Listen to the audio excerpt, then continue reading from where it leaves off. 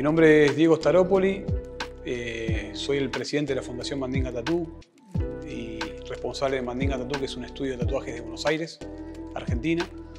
Y estamos acá en Honduras eh, en un paso que estamos haciendo de un viaje familiar a bordo de una casa rodante que inició en Buenos Aires, a Ushuaia, que es el sur del continente, y venimos subiendo para Alaska. Los tatuajes sanadores en sí se dividen en dos segmentos. El primero que empezamos a realizar, que es la reconstrucción de arena mamaria sobreviviente de cáncer de mamas, donde se tatúa con un pequeño tatuaje, se simula lo que es el pezón de la mujer. Esto ya lleva ocho años, es una actividad que, que empecé a realizar en honor a, mis familiares, a mi madre, mi abuela, mi tía, mi padre que padecieron esta enfermedad. Y se hace de forma gratuita.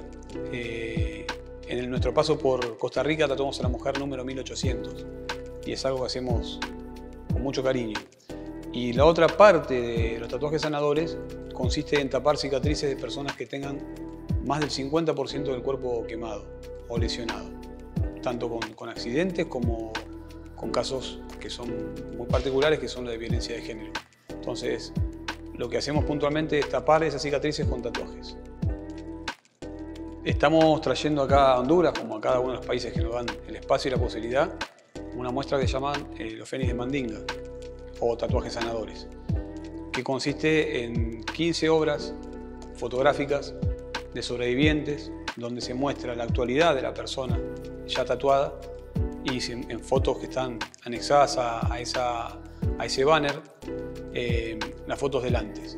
Y después al pie está toda la, todo el relato de qué fue lo que le pasó puntualmente, cuántas cirugías eh, padeció, cuál fue el motivo de, de, las, cicatrices.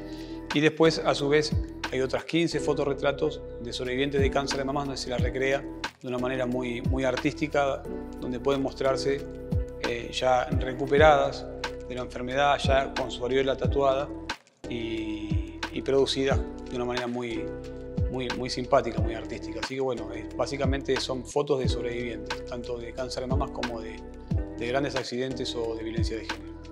La idea de la charla con, tatuadores, con colegas, básicamente eh, fluye de la necesidad de que, en cada país que nosotros pasemos eh, se pueda despertar esta, esta, se pueda dejar sembrada esta, semilla de, solidaridad, donde, de repente no tenga que venir un argentino a, a hacer esto de forma gratuita y un, un hondureño o un costarricense o un panameño o un mexicano en cada lugar donde estemos pueda eh, recogerla y pueda continuar esa labor.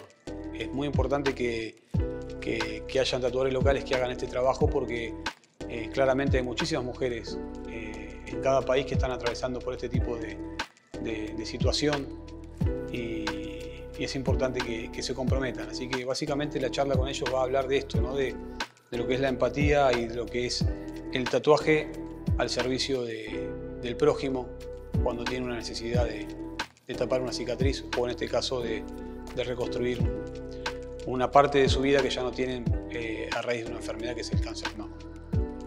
Eh, en este viaje por América nuestra, nuestra historia claramente no es, no es turística, no es, no, no es conocer un paisaje, los paisajes en algún punto son todos muy similares el paisaje nuestro, digo siempre que el paisaje más lindo que nos llevamos es la gente.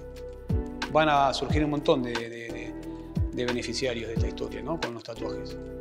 Este, pero si fuera uno solo, vale la pena todo este esfuerzo que se está haciendo.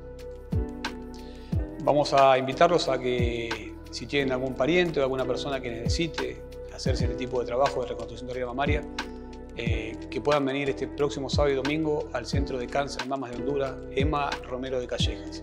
Vamos a estar de las 9 de la mañana hasta las 6 de la tarde ambos días y mañana viernes en el Centro Cultural Español vamos a estar presentando nuestra muestra fotográfica y vamos a estar dando una charla para, para tatuadores y artistas y gente de la comunidad que se quiera acercar para que vean de que siempre hay una luz de esperanza al final del camino, más allá de cómo estén nuestras pieles, lo importante es tratar de superarse y que esto no sea un impedimento. Así que los esperamos.